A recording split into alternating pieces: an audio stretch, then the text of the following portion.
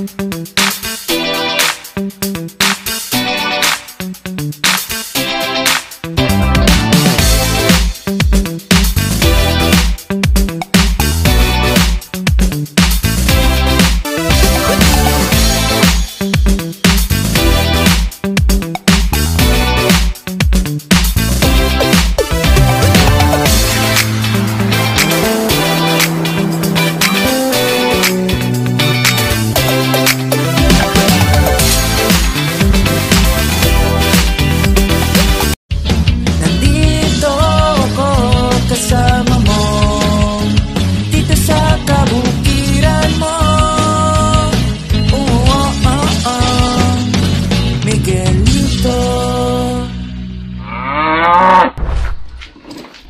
morning po sa inyong lahat mga katrops.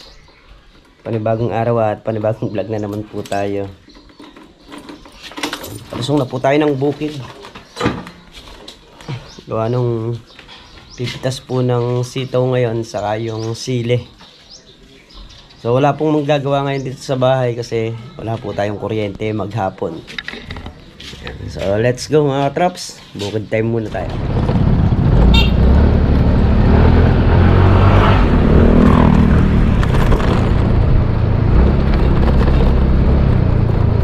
Yan mga katraps, kasama natin si Kaigel saka si Kuya Jeff. Kasunod natin sa likod oh. Ano si Tol na riyan saka si Meltong Vlog na una na po dun.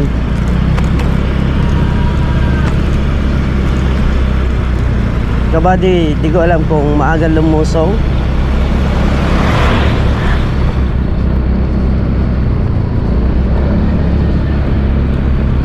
Yan at mamaya po mag-spray tayo ng mga halaman. So hindi po natuloy kahapon dahil hindi po kagad nayaring magpatubig si Bernard.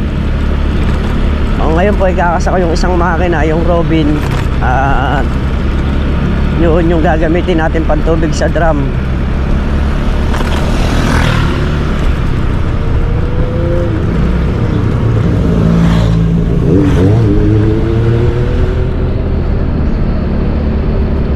Let's go na po tayo.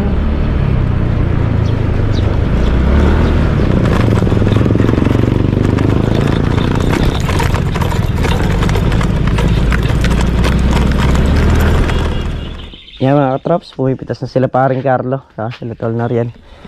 Luto muna tayo ng almusal. Magigisa tayo ng hokay. Ayan.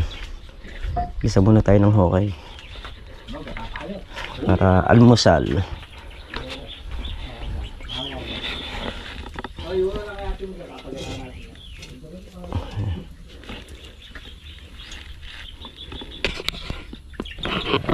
Pag-almusal mga katrops.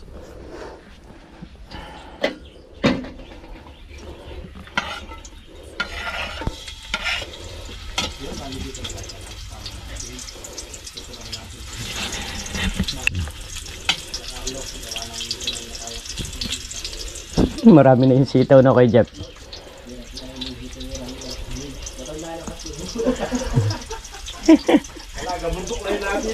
Marami na kasing napipitas kaya hindi kaya ng isang tao kaya tutulungan muna pumitas. Yan. Nakaluto na po yung hokay natin. So nagsalang ulit tayo ng pangsabaw gawa nung hindi naman magkakasya yung isang latang hokay no. Kaya nagluto tayo ng ibang ulam pa. Ayan. Nakasalang na po. Hintayin lang po namin kumulo at tawagin ko na po sila para makapag-almusal. Kasi ganun eh. Kaya nga bago rumatrat ng trabaho eh mga busog. Yan yung pinatubigan kahapon ni Kuya Rodel. Ah, ang di na lang po nangyari ay yung dulo oh. pero yung kalamansi po natin sa kabila ah, napatubigan na rin. At yung mais nga pong ginagawang kulte yan ano siya. Tubo na siya oh. naka ano na nakadayos na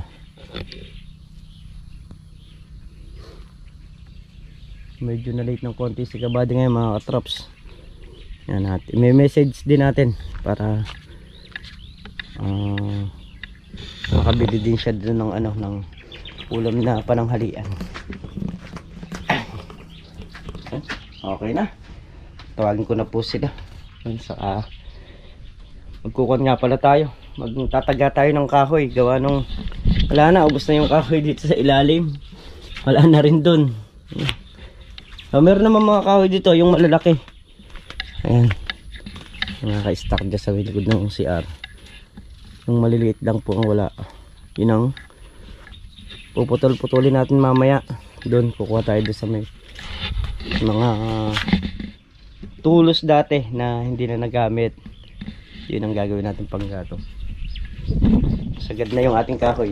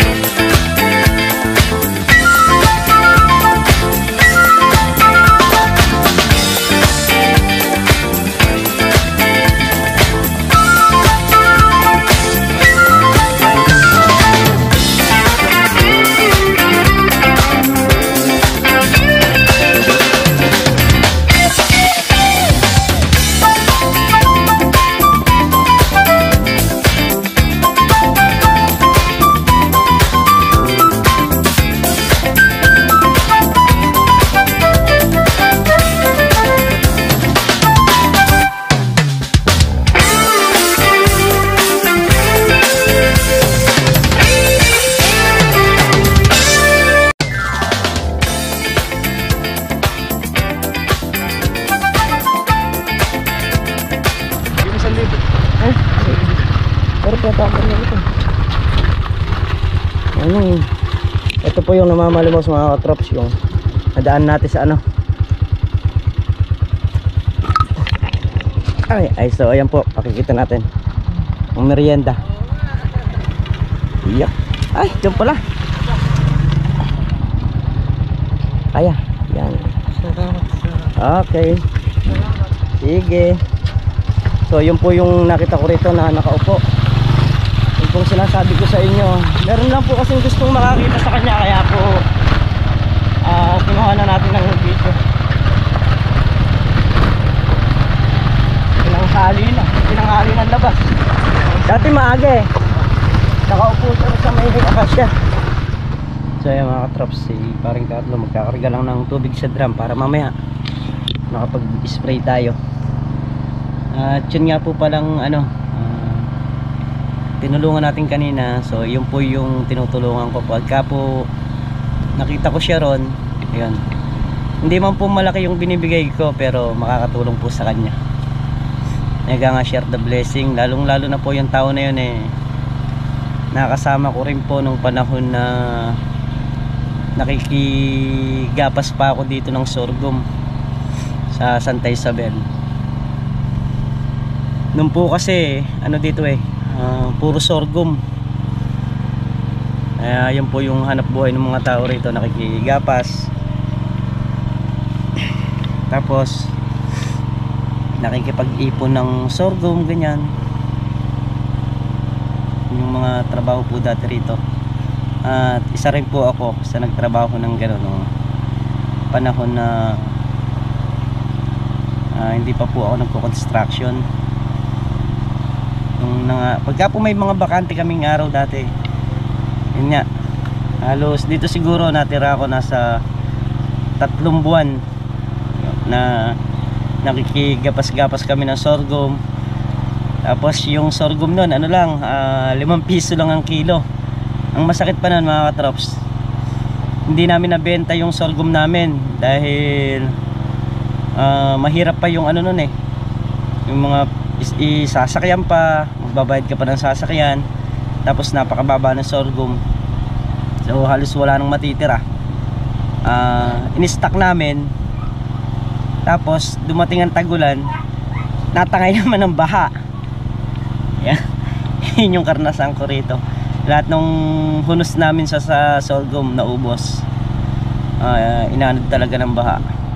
Kaya nakita ko si ano kanina, yun yung nakakasama namin. So kilala ko siya sa mukha lang pero sa pangalan medyo hindi ko na ganong ano. Kapatid ni ano yun eh, kapatid ni Berhel, kuya ni, nung Berhel, kuya niya yun. Nakakasama namin dating gumagapas. So pamilyado rin po yung taong ah, inabutan ko kanina. O paano nga makapagtrabaho kagaya nun. Ah, stroke. Halos yung isang kamay lang niya na igagalaw niya tapos medyo mahina pa. Kawawa yung pamilya.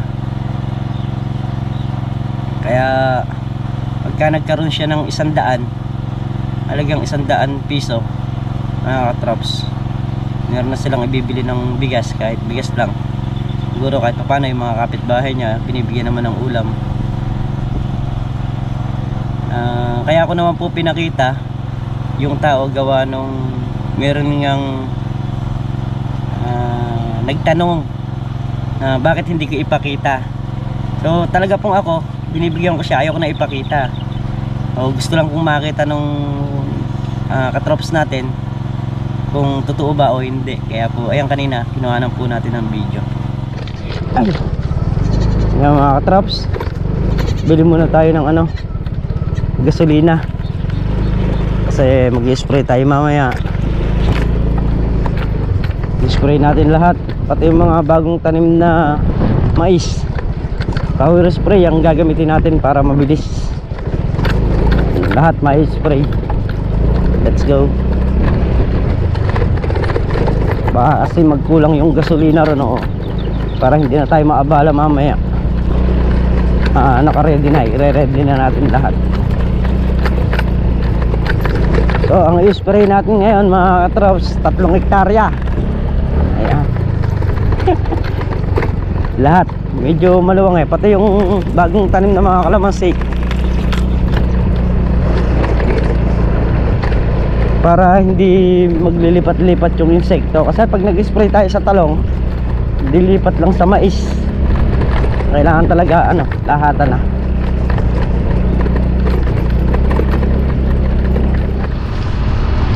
Yan ang mga trops nakabili tayo ng gas. Ayan pabalik na tayo sa Lucky Farm ayan mga katrops tatanim kami ng Madre de Agua.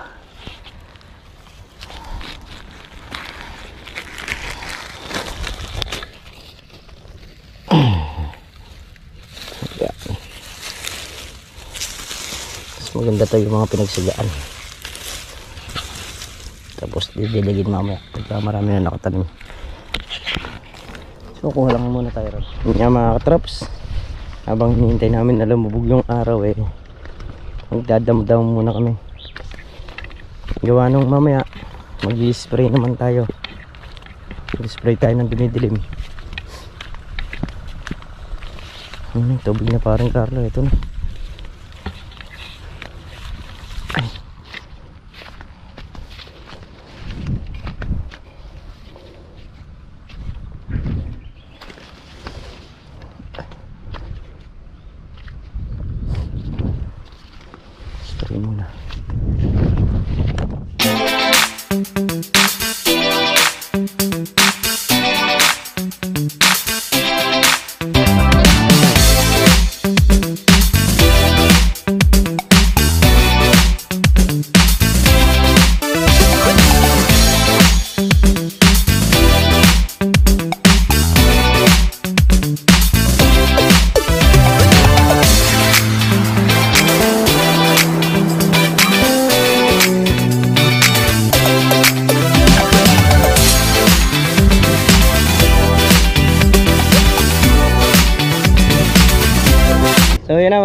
katraps, madilim na.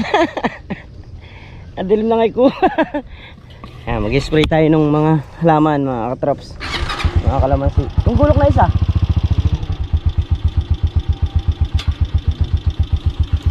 Mag-spray pa tayo doon.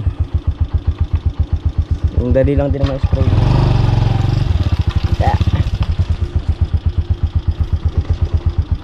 Madilim ang iyong paligid Ang paligid. Ating gabi walang hanggan. Noong kulay ng mundo sa'yo'y pinagkaitan Huwag mabahala ka, kaibigan Ano? Nagpapatulak. Sila pa kayang kaya Kuya Rodel ka rin.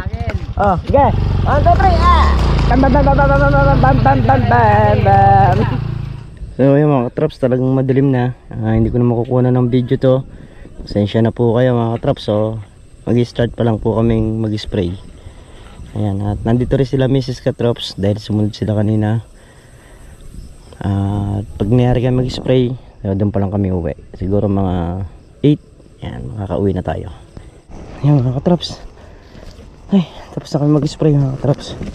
Palikatulong natin nag-spray si Meltong Vlog, si Bernard, tsaka si parang Carlo.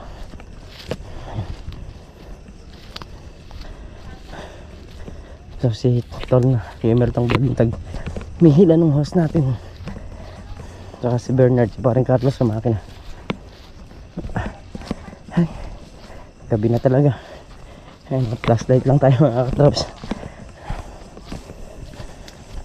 Thank you nga pala doon sa nagbigay ng flashlight sa amin. Pinakikinabangan na po namin. So, uwi na po kami nito.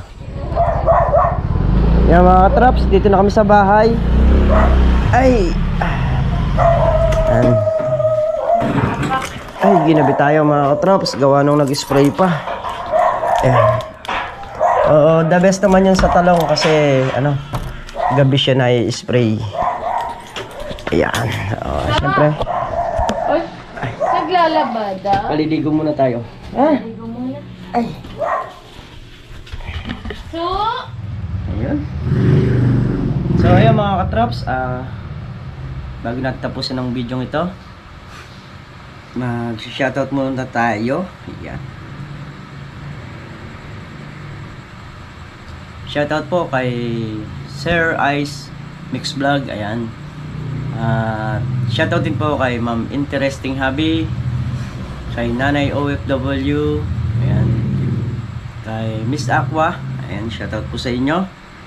At shoutout din po kay Sir Edo. Kay Sir Vic Adventurer. Ayan, shoutout po sa inyo. Kila Ma'am Ermelita.